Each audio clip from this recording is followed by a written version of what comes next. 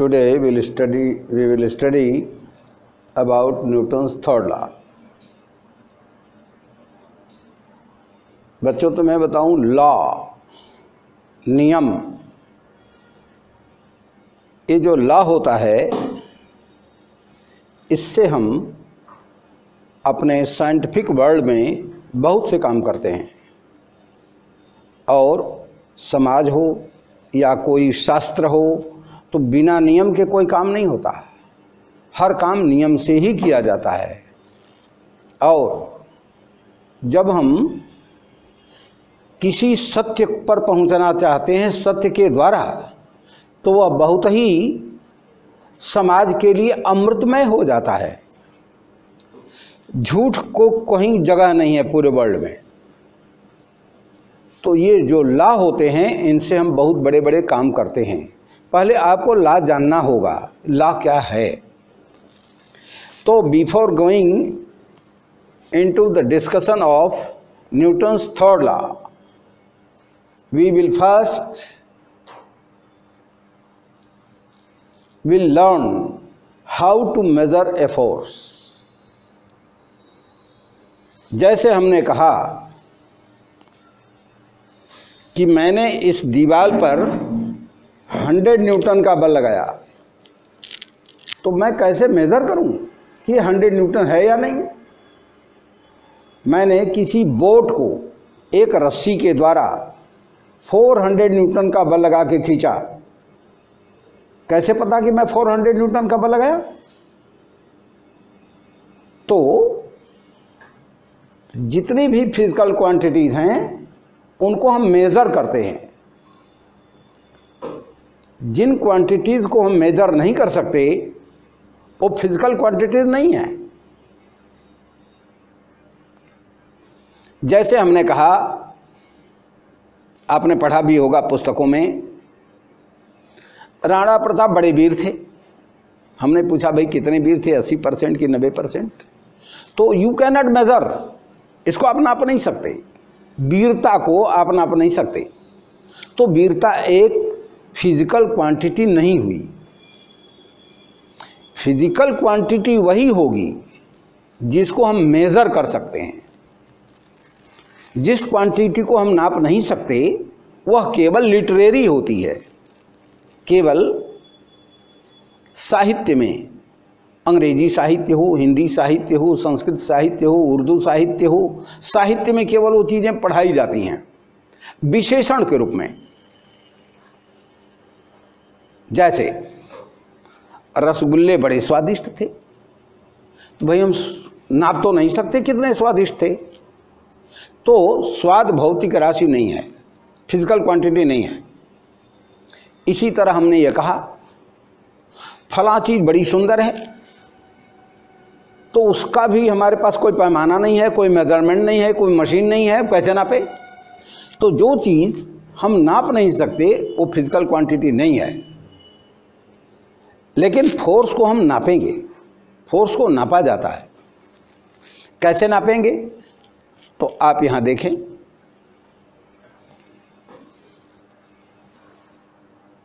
Force को नापने के लिए मशीन है स्प्रिंग स्प्रिंग ही एक ऐसा यंत्र है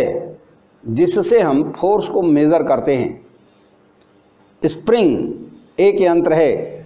आप यहां देखें please be attentive and the blackboard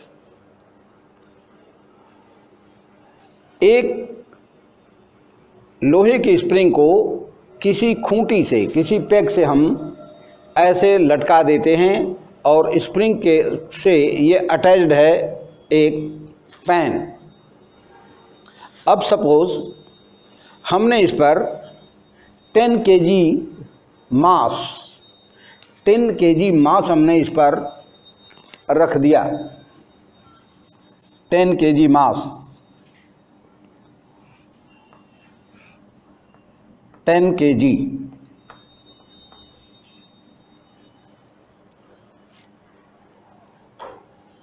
तो जैसा तुम्हें पता है अनुभव है तुम्हें कि स्प्रिंग की लंबाई बढ़ जाएगी as shown in the side figure spring की लंबाई बढ़ गई पहले पॉइंटर यहाँ था जब वेटलेस था यह जब इस पर कोई वेट नहीं था तो इसका पॉइंटर जीरो पर पॉइंट कर रहा था यहाँ था ten K G mass hang करने के बाद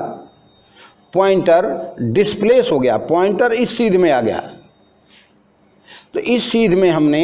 100 न्यूटन लिख दिया 100 न्यूटन क्यों because force is equal to m g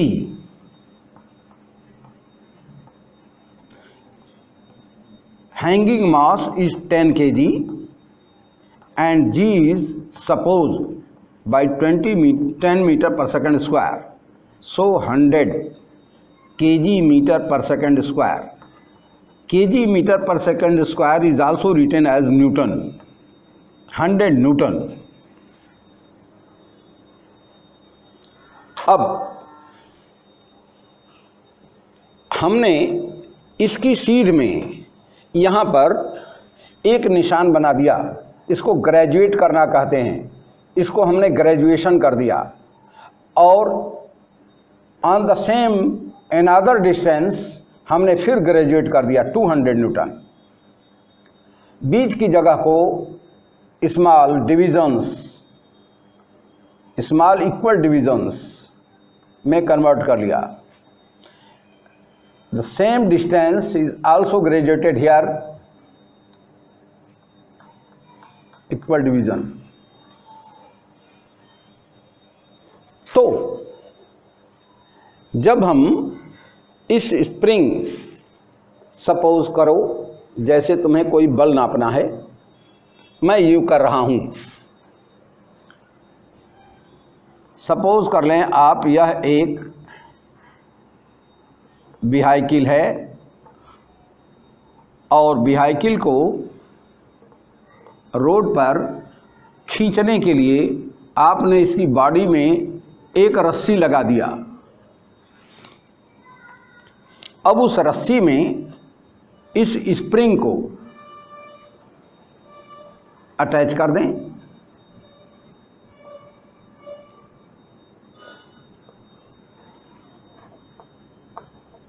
अभी हमने अटैच किया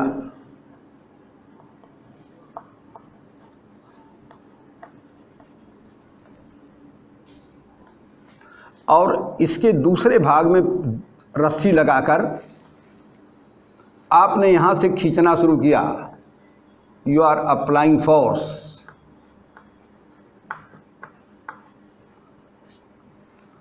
तो जब ये फोर्स आपने लगाया इसको खींचने के लिए तो ये स्प्रिंग लंबी हो जाएगी और इसका पॉइंटर जीरो से स्प्रिंग इस ढंग से हो जाएगी और इसका पॉइंटर यहाँ आ गया सपोज़ यहाँ पर है 170 तो आप जो फोर्स लगाए हैं वह 170 न्यूटन माना जाएगा ठीक तो स्प्रिंग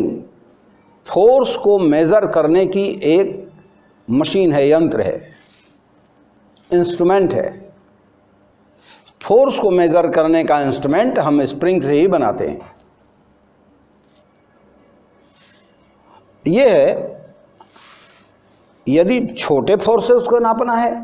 तो ये स्प्रिंग बहुत मुलायम स्प्रिंग होगी और यदि बड़े फोर्सेस को नापना है ten thousand newton twenty thousand newton are some more तो स्प्रिंग बहुत मोटी होगी और बहुत बड़ी होगी लेकिन स्प्रिंग के द्वारा ही हम फोर्स को मेज़र करते हैं मैंने ये बताया पहले इसको ग्रेजुएट करना होगा एक स्प्रिंग लें और इस तरह से इस पर मास हैंग करें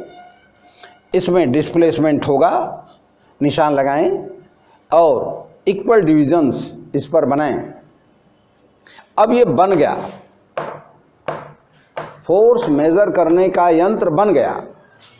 अब फोर्स मेज़र करना है तो फोर्स को फोर्स हम्म। को जैसे ये गाड़ी है इस गाड़ी को खींचना है और तुम्हें देखना है कि तुमने कितना बल लगाया तो पहले एक रस्सी इस गाड़ी से अटैच करें और उस रस्सी से यह स्प्रिंग ये स्प्रिंग यहाँ लगा दें स्प्रिंग के दूसरे सिरे से दूसरी रस्सी लगाएं अब आप जमीन पर खड़े होकर अपना फोर्स लगाएं उस रस्सी पर जो खिंचाव डिस्प्लेसमेंट इन इट्स पॉइंटर होगा वह ग्रेजुएटेड पार्ट के किसी बिंदु पर होगा अब आप फोर्स मेजर कर सकते समझ गए फोर्स को नापना फोर्स को हम नापते कैसे हैं स्प्रिंग के द्वारा स्प्रिंग से हम फोर्स को मेज़र कर लेंगे आगे बढ़े समझ में आ गया या फोर्स को नापने का यंत्र हमने बनाया एक सिंपल स्प्रिंग के द्वारा अगली बात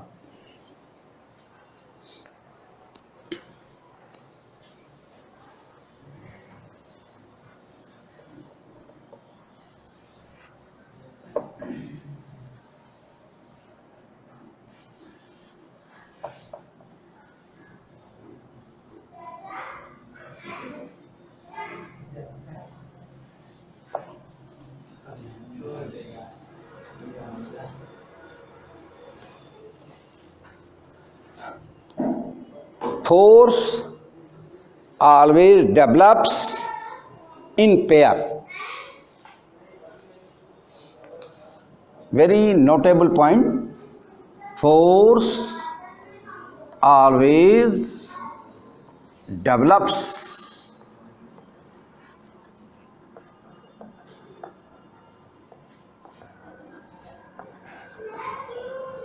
in pair.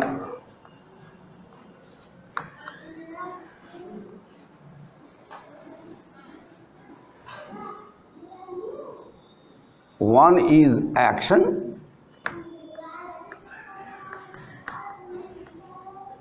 and other is reaction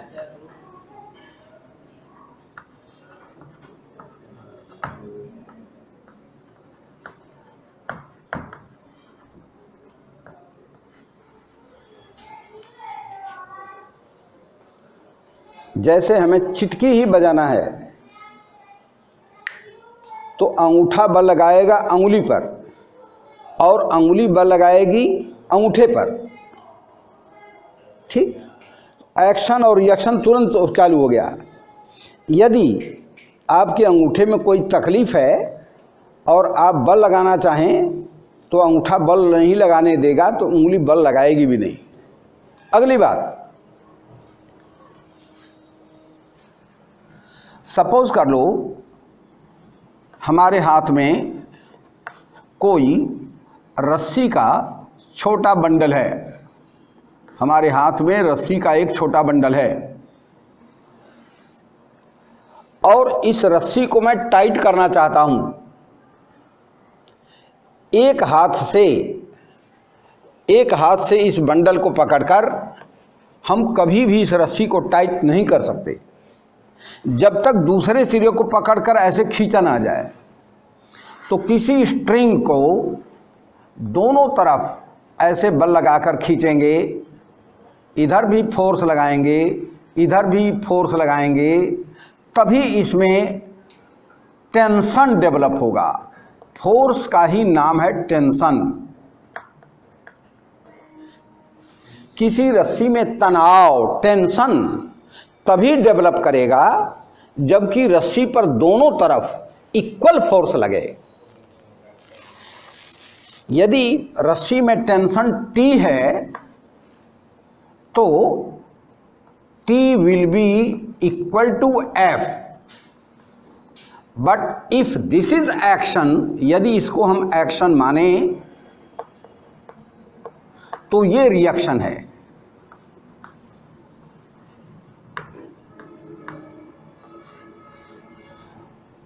यदि यह फोर्स एक्शन है तो यह फोर्स रिएक्शन है दोनों की value mod is same but both are in opposite direction यदि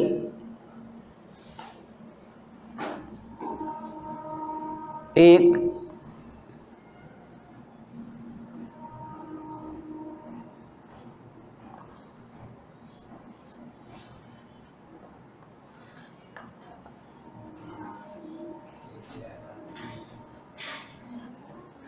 यदि एक हाथी की पूंछ से रस्सी के द्वारा हमने एक चूहे को बांध दिया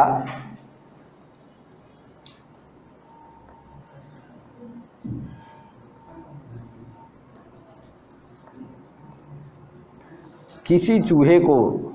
एक elephant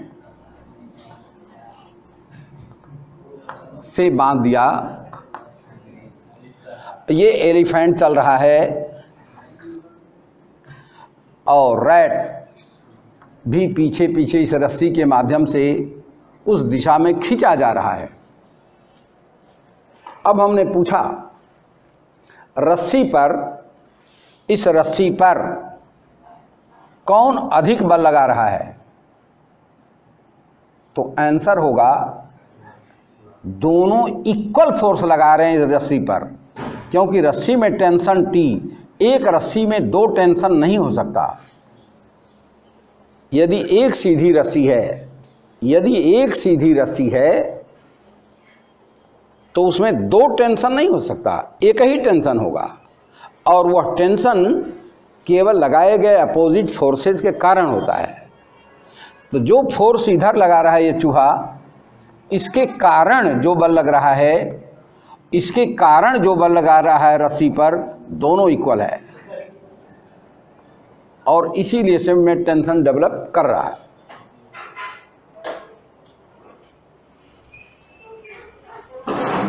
action is always equal to reaction ऐसा हो नहीं सकता कि एक्शन और रिएक्शन इक्वल ना हो in magnitude but direction is opposite another example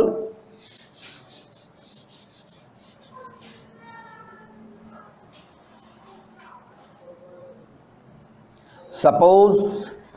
एक टेबल है यह इस टेबल पर हमने एक मास टेन के जी का रख दिया टेन के जी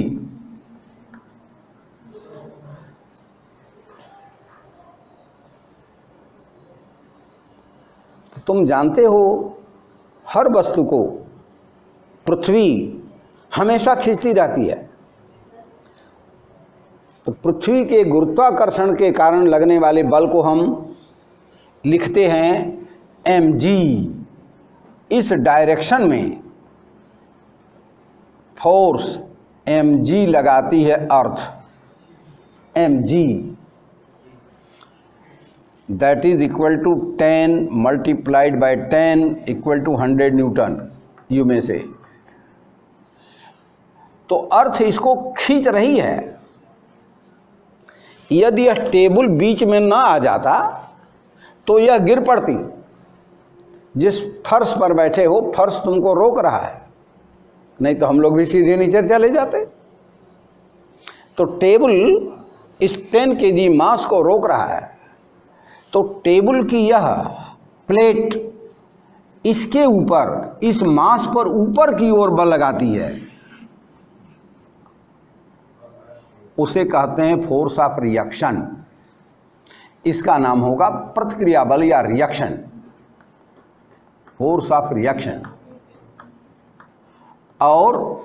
यह जो बल लगा रही है अर्थ इसको कहते हैं ग्रेविटेशनल फोर्स या फोर्स ऑफ एक्शन इसको कहते हैं ग्रेविटेशनल फोर्स ग्रेविटेशनल फोर्स इस बॉडी पर इस टेन के जी मास पर विचार करें टेन के जी मास पर दो बल लग रहे हैं एक तो अर्थ इसको बुला रही है नीचे खींच रही है नीचे की ओर दूसरा टेबल की यह प्लेट इसके ऊपर ऊपर की ओर बल लगा रही है यहां से यहाँ से जनरेट हो रहा है आर और इसके ग्रेविटेशनल सेंटर पर एम जी फोर्स लग रहा है दोनों बलों की लाइन ऑफ एक्शन सेम है both are equal in magnitude R will be written as m g but direction of R is opposite to that of m g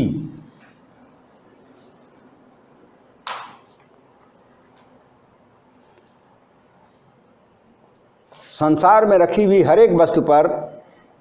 हमेशा दो बल लगे रहते हैं मैंने क्या कहा संसार में रखी हुई हर वस्तु पर हमेशा दो बल लगे रहते हैं और संडे को तो क्लास नहीं चलता उस दिन उस दिन भी लगेगा चाहे क्लास चले चाहे नहीं चले उस बल उस दिन भी लगेगा हर वस्तु पर हमेशा दो बल लगे रहते हैं जो क्लास नाइन में है नहीं पढ़ रहा उस पर उस पर भी हमेशा दो बल लगे हैं क्या तेरे ऊपर भी दो बल लगे हैं क्या यस मेरे ऊपर भी दो बल लग रहे हैं जैसे मालूम मेरा बॉडी मास 70 के जी है तो अर्थ मेरे ऊपर फोर्स लगा रही है ग्रेविटेशनल फोर्स मेरे ऊपर अर्थ लगा रही है 70 multiplied by ten seven hundred newton seven hundred newton का बल मेरे ऊपर पृथ्वी लगा रही है अर्थ लगा रही है लेकिन फर्श ये फर्श भी मेरे ऊपर ऊपर की ओर सेवन हंड्रेड न्यूटन का बल लगा लगा रहा है ये फर्श फर्श का रिएक्शन फोर्स भी सेवन हंड्रेड न्यूटन है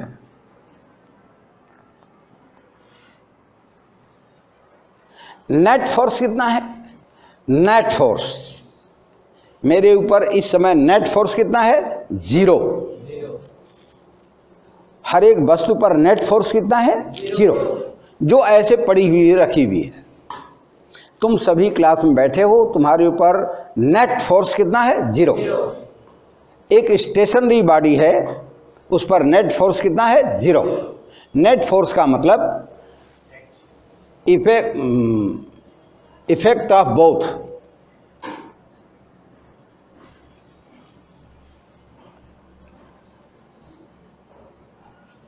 net resultant force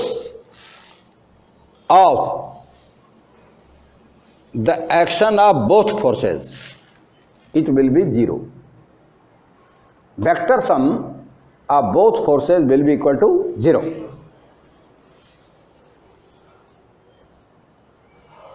आप देखो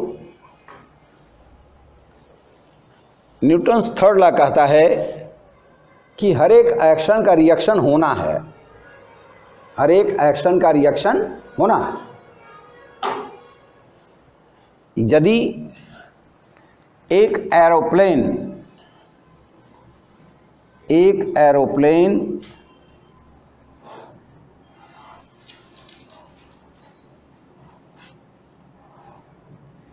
उड़ता हुआ ऐसे जा रहा है यदि इससे कोई पक्षी कोई पक्षी ऐसे उड़ता हुआ कोई पक्षी इससे टकरा जाए कोई उड़ता हुआ पक्षी इस प्लेन से टकरा जाए कोई बर्ड इस प्लेन से टकरा गई तो टक्कर होते समय जिस समय टक्कर हुई तो बता सकते हो कौन किस पर ज़्यादा बल लगाएगा हवाई जहाज बर्ड पर ज़्यादा बल लगाएगा या बर्ड इस पर ज़्यादा लगाएगा हवाई जहाज उड़ता हुआ जा रहा है और एक कौवा या गिद्ध पक्षी टकरा गया किसने ज़्यादा बल लगाया इक्वल लगेगा गुड फोर्स इक्वल होबे करेगा टक्कर हुई तो वह फोर्स इक्वल होगा अनइक्वल हो ही नहीं सकता जितना बल प्लेन ने लगाया होगा उस बर्ड पर उतना ही बर्ड की बॉडी उस प्लेन पर लगाई होगी परिणाम यह होगा कि प्लेन का भी नुकसान हो जाएगा उसकी चद्दर फट सकती है उसकी चद्दर टूट सकती है पिचक सकती है और बर्ड की तो जो हालत हो होगी वो तो बर्ड ही जानेगी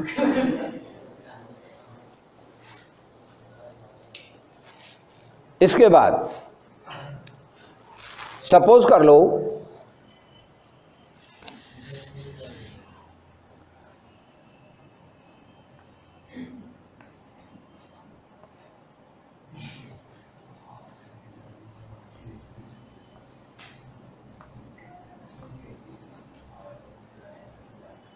इस मोटू ने इस छोटू को एक चांटा इसके गाल पर लगा दिया एक चांटा छोटू रोने लगा शिकायत पहुंच गई सर के पास सर ने डांटना शुरू किया क्यों मोटू छोटू को क्यों मारा कहे सर इसने भी मुझको मारा छोटू ने कहा नहीं सर ये झूठ बोला मैंने नहीं मारा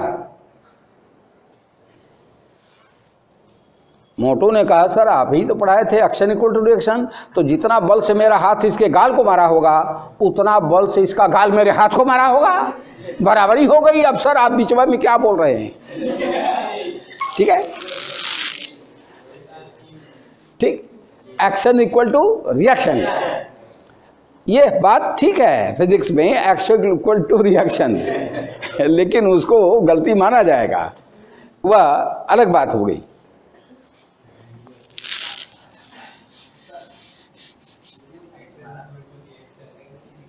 यदि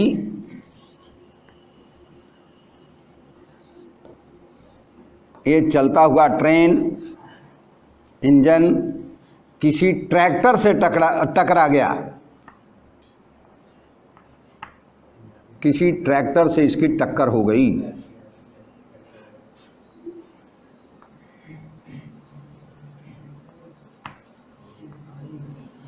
तो टक्कर के समय कौन किस पर ज्यादा बल लगाया होगा इक्वल जितना फोर्स ट्रेन लगाएगी उस ट्रैक्टर पर उतना ही ट्रैक्टर इसके ऊपर लगा देगा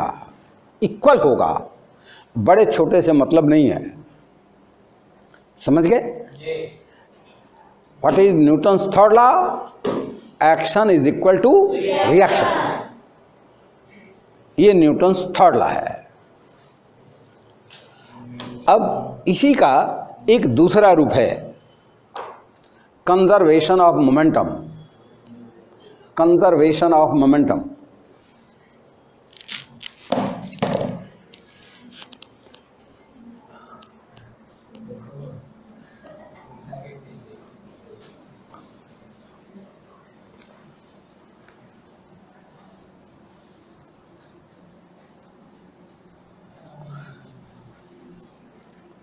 कल के लेक्चर में हमने देखा था मोमेंटम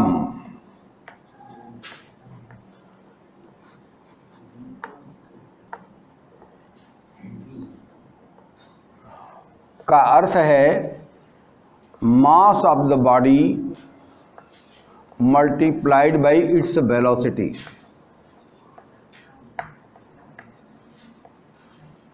momentum का सिंबल है P linear momentum for linear momentum mass M multiplied by V this formula is for linear momentum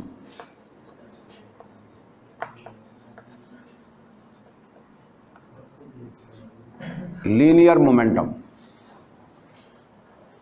लेकिन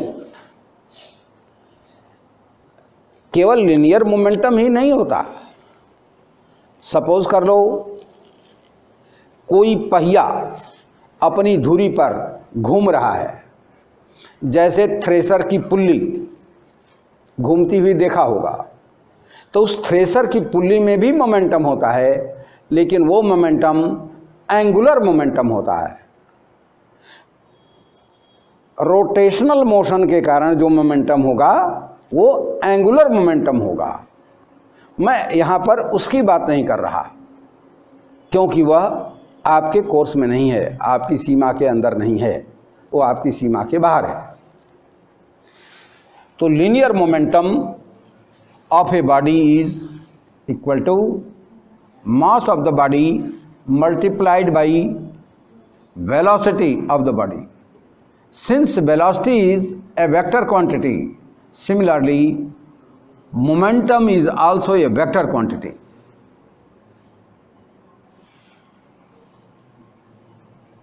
Vector भी की डायरेक्शन में ही वेक्टर पी की डायरेक्शन होती है पी की डायरेक्शन वही मानी जाएगी जो भी की डायरेक्शन है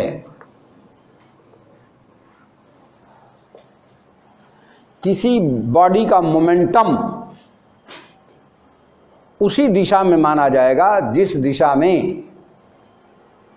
उसके वेग की दिशा है जैसे कोई बॉडी पूर्व दिशा में मूव कर रही है तो उसका मोमेंटम भी पूर्व दिशा में ही लिखा जाएगा उसके मोमेंटम का डायरेक्शन भी पूर्व ही होगा ठीक कंजर्वेशन ऑफ मोमेंटम का क्या मतलब है कंजर्वेशन ए वर्ड कंजर्वेशन इस वर्ड का क्या मतलब है कंजर्वेशन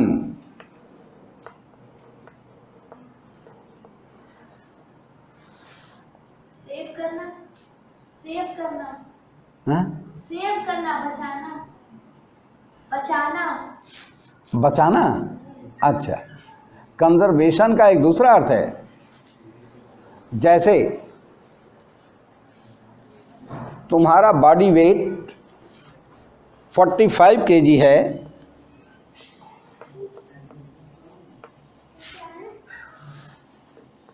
टू थाउजेंड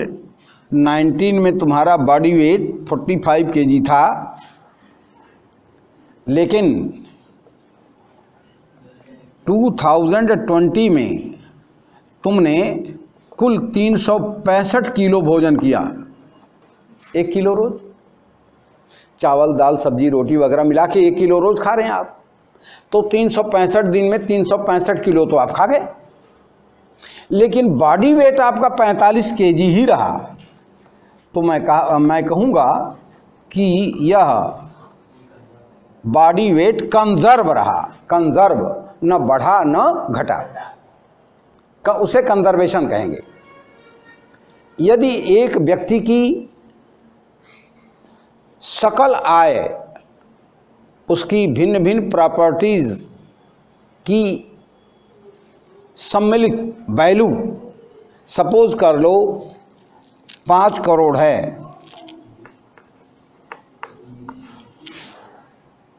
और उसने कुछ सोना बेच करके ज़मीन खरीद ली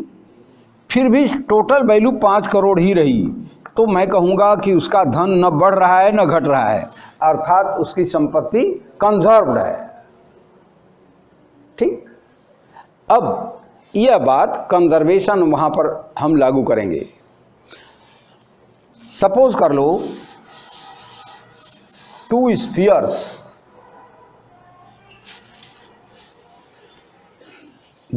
दो masses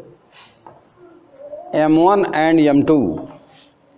are moving in the same direction with their respective speeds u1 and u2. Since u1 is greater than u2, they will collide after some time. Suppose collisions happens here at the point P. After collisions, their speeds get changed. By law of conservation of momentum we will write as this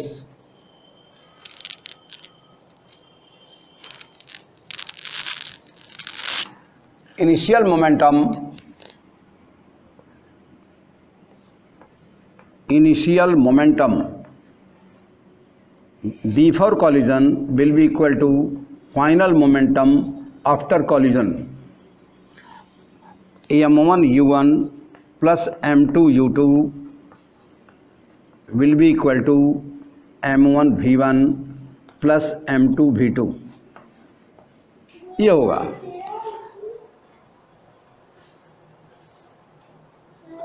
M one U one plus M two U two will be equal to M one V one plus M two V two for example जैसे समझ लो ये सीधी सड़क पर चार K G और दो के जी के masses four meter per second and two meter per second की स्पीड से मूव कर रहे हैं ये स्लो है ये फास्ट है सपोज कर लो यहाँ कॉल्यूजन हो गया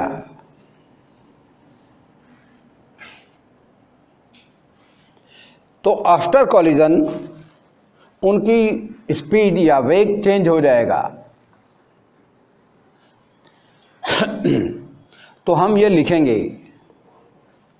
16 इसका इनिशियल मोमेंटम 16 प्लस इसका momentum 4 will be written as इसका मोमेंटम 4 भी one plus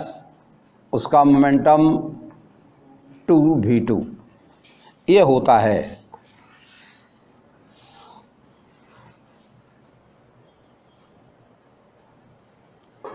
conservation of momentum अब इसका हम conservation of momentum and action reaction both are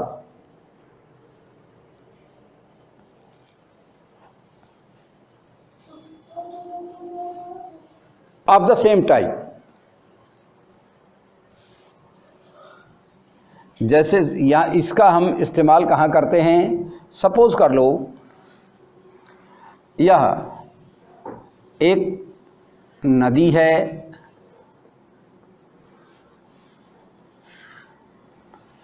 नदी के इस किनारे ये नाव किसी रस्सी में बंधी हुई है और नदी की चौड़ाई ज़्यादा है कोई आदमी इस पर बैठकर यहाँ से खोल दिया और नाव को चप्पू चलाते हुए वह आगे बढ़ा और जब नाव बोट यहाँ पर पहुँच गई तो यह यहाँ से आदमी उठा और ये आदमी इस पर चलना शुरू किया जब ना जब आदमी इस पर चलना शुरू करता है तो नाव पीछे हटना शुरू करती है और नाव यहाँ आ गई नाव यहाँ पर आ गई अब वो आदमी देखता है कि भाई हमें तो किनारे जाना था लेकिन बहुत ज़्यादा गैप है मैं कैसे किनारे पहुँचूँ परेशान होता है जब फिर वो फिर वो चल करके यहाँ आप पर पहुँचता है तो फिर नाव अपने आप किनारे लग जाती है फिर वो चल करके इधर आता है फिर नाव पीछे हट जाती है आदमी आगे बढ़ता है नाव पीछे हट जाती है इसे एक्शन इक्वल टू रिएक्शन से भी समझ सकते हैं दूसरा यदि पानी में तैरती हुई नाव बहुत इस पर से कोई आदमी ऐसे बाहर की ओर छलांग लगा दे तो ये नाव पीछे हट जाएगी नाव भी पीछे हट जाएगी तो सिस्टम कंबाइंड सिस्टम आदमी और नाव एक साथ कंबाइंड थे लेकिन यह यदि जंप करके आगे जा रहा है तो नाव उसी मोमेंटम से पीछे हट जाएगी एग्जाम्पल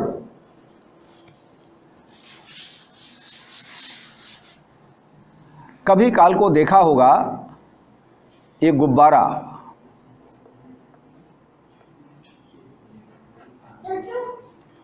ये गुब्बारे में हवा है हाथ से पकड़ा हूं यदि इसके मुंह को खोल दूं तो तेज तेज गति से हवा इधर निकलती है और ये पीछे हटता है ये एक्शन है तो ये रिएक्शन है या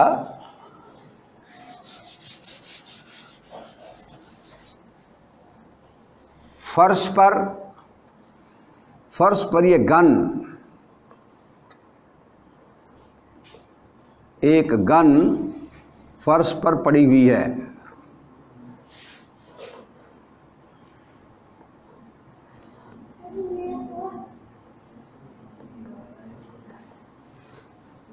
और इसमें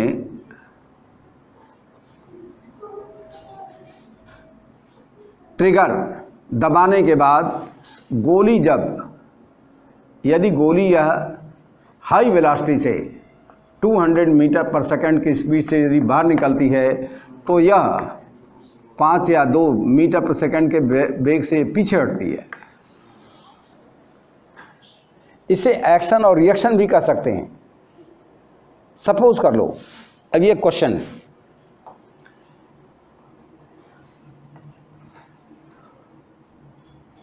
by a gun of ten K G mass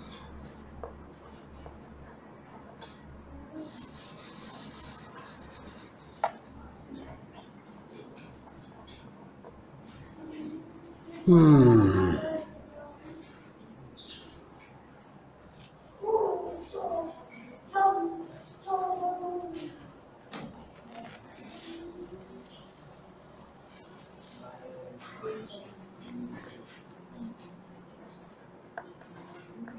A tiny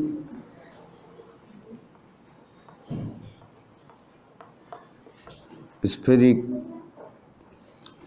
sphere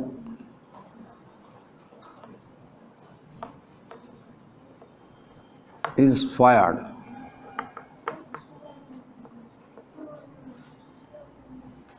with four hundred meter per second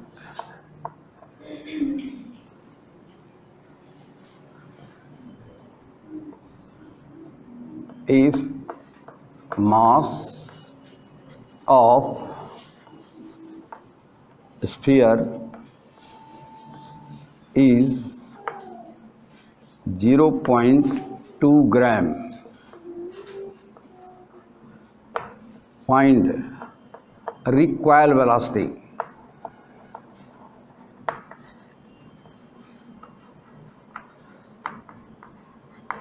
of gun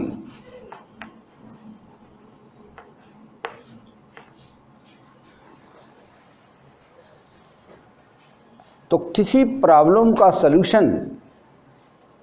किसी नियम से ही होता है किसी रूल से ही होता है अब देखो इसको सॉल्व कर रहा हूं solution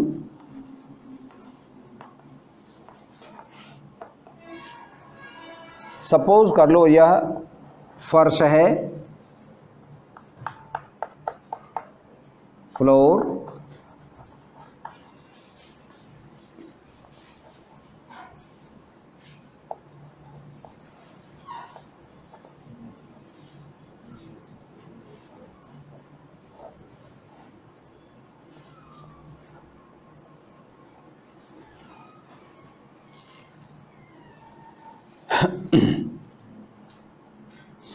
before fire before fire mass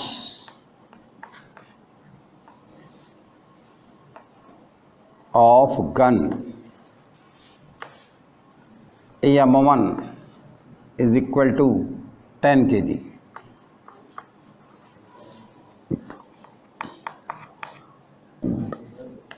mass of sphere m2 is equal to 0.2 gram will be equal to 0.0002 kg.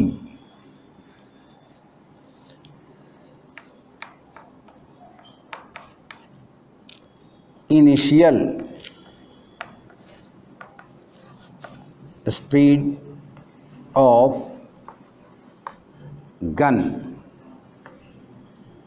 U1 was 0. Initial speed of sphere is also 0.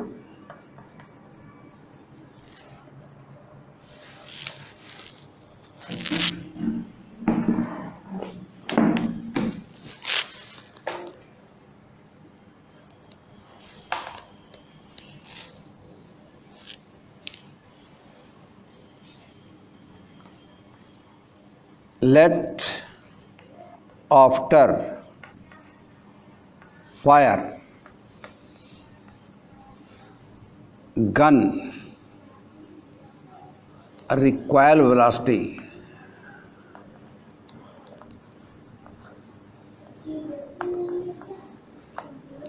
is v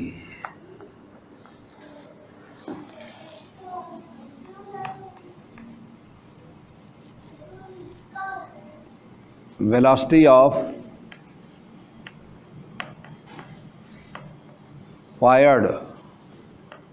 sphere is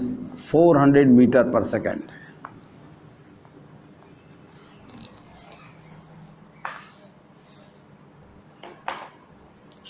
now how, how to calculate this thing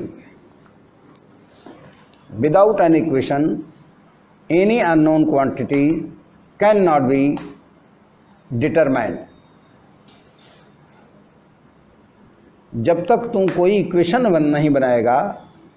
equation को solve नहीं करेगा उस unknown quantity की value तुम ज्ञात नहीं कर सकता तो उसके लिए क्या इक्वेशन बनाने के लिए कोई रूल चाहिए इज देयर एनी रूल हाँ law of conservation of momentum तो इनिशियल मोमेंटम अब ये law of conservation of momentum by law of conservation of momentum initial momentum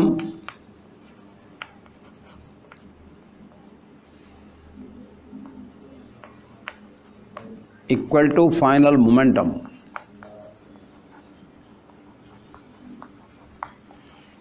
initial momentum क्या लिखोगे भाई M one ten K G multiplied by zero M one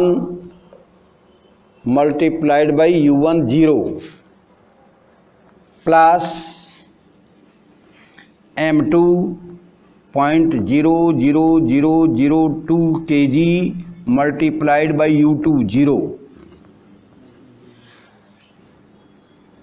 initial total momentum was zero of gun and the sphere initial momentum was zero after fire momentum of gun will be return at ten K G minus भी one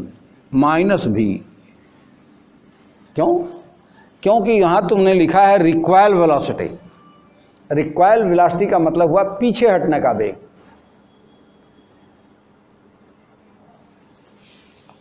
और ये fire करने के बाद ये जो वेग दिया हुआ है 400 मीटर पर सेकंड ये फायर करने के बाद ये आगे जा रही है गोली आगे जा रही है बंदूक पीछे हट रही है तो बंदूक के वेग को हमने माइनस लिखा रिक्वायर वेलोसिटी डायरेक्शन माइनस कर देंगे plus point zero zero zero two multiplied by four hundred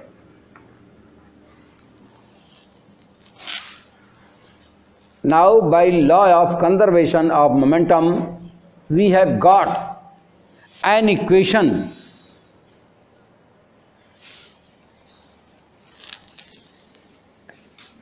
tan V equal to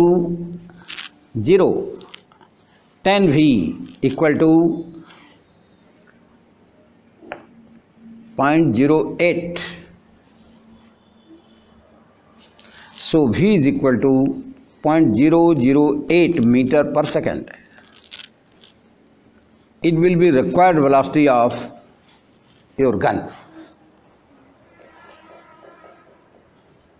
इसी सिद्धांत पर हमने रॉकेट बनाए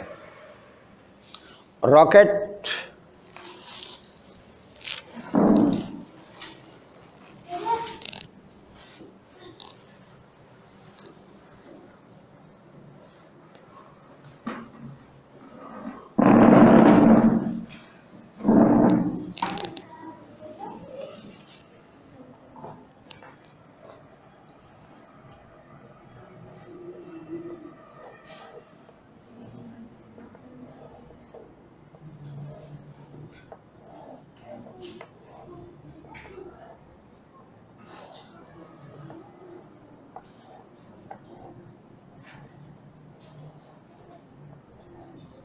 a fuel oxygen source और इसको हम इस ढंग से किसी सॉलिड बेस सॉलिड बेस ये बहुत सॉलिड बेस होता है और इस पर हम माउंट करते हैं इस रॉकेट को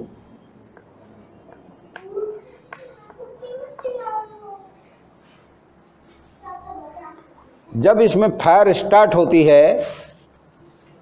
बहुत तेज बहुत तेज गति से यहाँ पर गैस का जला हुआ मांस यह निकलता है बाहर की ओर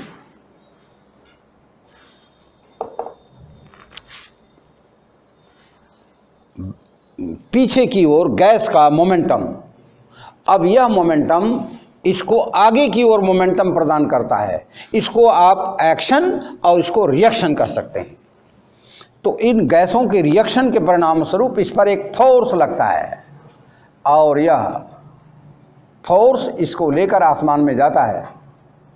यह तुम्हें बताऊं कि इसके इसका एक्सेलरेशन लगभग हम 20 मीटर पर सेकंड रखते हैं 20 मीटर पर सेकंड स्क्वायर तो जिस समय यह रॉकेट स्टार्ट करता है उस समय इसका बॉडी वेट लगभग थ्री टाइम्स हो जाता है स्टैंड पर इस स्टैंड पर लगभग थ्री टाइम्स उसका बॉडी वेट पड़ता है और यह बहुत हाई एक्सेलेशन होने के कारण हमारे एटमॉस्फेयर को बहुत कम समय में पार कर जाता है वो सारी चीज़ें आप बड़े होने पर डिटेल में पढ़ेंगे अभी आपके चैप्टर में इतना ही आज आपने क्या पढ़ा very important action is equal to reaction दूसरा very very important law of conservation of momentum initial momentum of any system remains same after collision initial momentum is equal to final momentum अब अगली बात आपको बता दें बस थोड़ा समय और लेंगे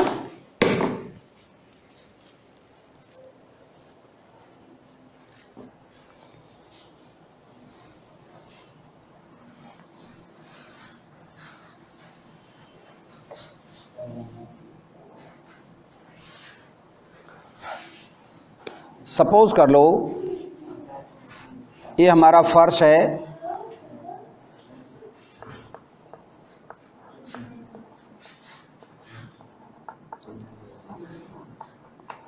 लो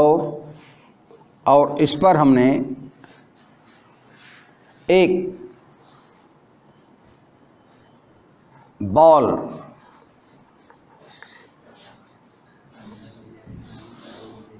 हाथी दांत हाथी दांत की बनी हुई बॉल छोटी गोली यदि इस पर हम ऐसे छोड़ देते हैं और सपोज़ कर लो ये इस फर्श को हिट करती है 20 मीटर पर सेकंड के बेग से और यह उछल जाती है 19.9 मीटर पर सेकंड के बेग से और उछलने के बाद लगभग उसी पोजीशन में पहुंच जाती है जहां से वो उसको हमने छोड़ा था फ्रीली फॉल कराया था यहां देखने में ऐसा लगता है कि initial momentum is not equal to final momentum ऐसा देखने में लग रहा है आपको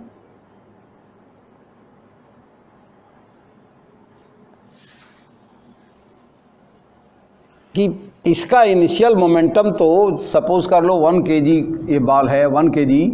तो इनिशियल मोमेंटम क्या ये लिखोगे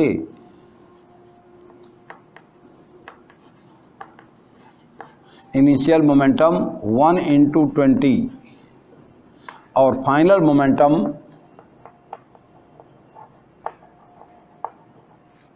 one into minus nineteen point nine तो क्या ये इक्वल है क्या तो तुम्हें ये भ्रम हो सकता है कि ये इक्वल तो नहीं है तो कहीं कंदर आप basin law of conservation of momentum ही तो गलत नहीं है लेकिन आप जिस पृथ्वी से जिस अर्थ से इसकी टक्कर हो रही है उस अर्थ को तो भूल ही गए आप वह इसके टक्कर के कारण अर्थ में भी मोशन होता है उस मोशन को हालांकि वो मोशन बहुत ही इन्फिनिटी है लेकिन उसको हम डिस्कार्ड नहीं करेंगे जब ये बॉल चलती है नीचे की ओर तो हमारी पूरी अर्थ ऊपर की ओर बढ़ती है हालांकि वह स्पीड इनफिनिटी सिमल है बहुत कम है लेकिन है जितना इसका मोमेंटम नीचे की ओर होता जाएगा उतना ही इसका मोमेंटम ऊपर की ओर होता जाएगा तो टक्कर के बाद भी दोनों के मोमेंटम को जोड़ोगे तो जीरो ही रहेगा और टक्कर के बाद जब यह गोली ऊपर की ओर भागती है तो पृथ्वी भी अर्थ भी हमारी पीछे की ओर हटती है उस स्पीड को हम मेज़र नहीं कर सकते क्योंकि वह इन्फिनिटीसिमल है जिस समय सपोज कर लो यह कोई big mass big mass earth की ओर आ रहा है a large mass seven thousand K G mass ये अर्थ की ओर बढ़ रहा है तो पूरी पूरी अर्थ एज ए होल यह भी ऊपर की ओर बढ़ने लगती है ड्यू टू ग्रेविटेशनल एक्सेलरेशन इसका मोमेंटम सपोज कर लो टेन लैक्स है ten into ten to power five है प्लस तो इसका मोमेंटम भी है minus ten into ten to power five before collision there sum of initial momentums is zero and after collision also that is zero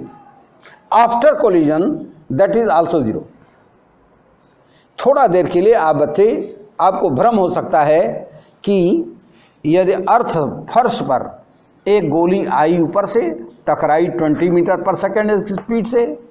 और उछली केवल 5 metre per second की speed से तो कहाँ initial momentum equal to final momentum हुआ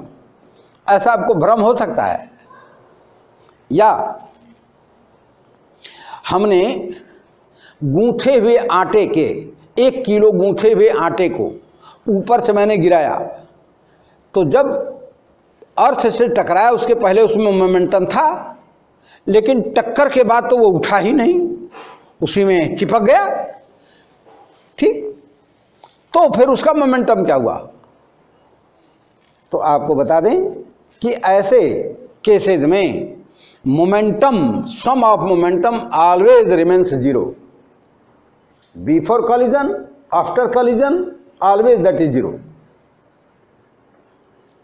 क्योंकि वहाँ पर आप अर्थ के मोमेंटम को भूल जा रहे हैं हालांकि ये इन्फिनिटिसिमल है लेकिन ठीक इसके इक्वल होता है जिस तरह से भारी गन है तो गन गन से आप फायर कर रहे हैं तो ये मोमेंटम इस गोली का मोमेंटम आगे की ओर सपोज कर लो ये है प्लस टेन न्यूटन सेकेंड तो इस गन का भी माइनस टेन न्यूटन सेकेंड होगा आफ्टर फायर बिफोर फायर ये भी जीरो है ये भी जीरो है आफ्टर फायर ये माइनस है तो ये प्लस है इसी तरह यदि हमने एक बॉडी को ऐसे आकाश में रखा हुआ है तो इसका मोमेंटम भी जीरो है और इस अर्थ का भी मोमेंटम जीरो है लेकिन जैसे ही हम इस बॉडी को फ्री करते हैं और ये अर्थ की ओर मूव करती है उसी समय अर्थ भी धीरे धीरे इसकी ओर मूव करती है हालांकि वह विलासिटी इतनी कम है कि उसे हम मेज़र नहीं कर सकते लेकिन total momentum of both remains zero at every moment sum sum of both momentums remains always zero and after collision again it remains zero that's all